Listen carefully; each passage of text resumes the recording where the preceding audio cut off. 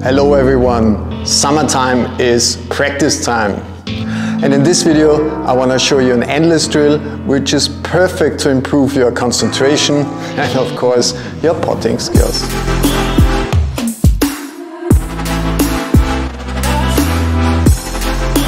apologize for my beard.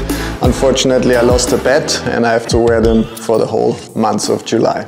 I really like this drill because it was shown to me by a professional because I asked him like how can I improve my concentration and to remain focused. The potting in this drill is actually not very difficult. So the main goal of this exercise is to stay focused and not to lose your concentration. So this drill is actually very simple. You got three balls on the table. You can take whatever balls you want. I just chose the seven and the eight and the nine ball because I thought it would make sense. And the idea behind this drill is very simple. You start off with the seven, then you follow up with the eight, and you finally end up at the nine ball. Once you pot all the three balls, you try to get position with the white ball on the seven again, and you start from you.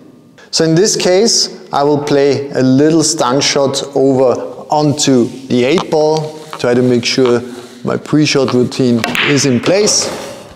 I can already tell that I've got quite a good angle onto the 8 ball, so the only thing I need to do is to check my angle, try to make sure that my pre-shot routine is in place, go down, make my warm-up strokes and try to get onto the 9 ball with a good angle.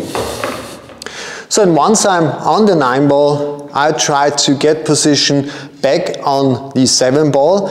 You see I have not respotted the 7 nor the 8 ball yet. So you first pot the 9 ball. So I try to make it quick here. Try to make sure my pre-routine is working.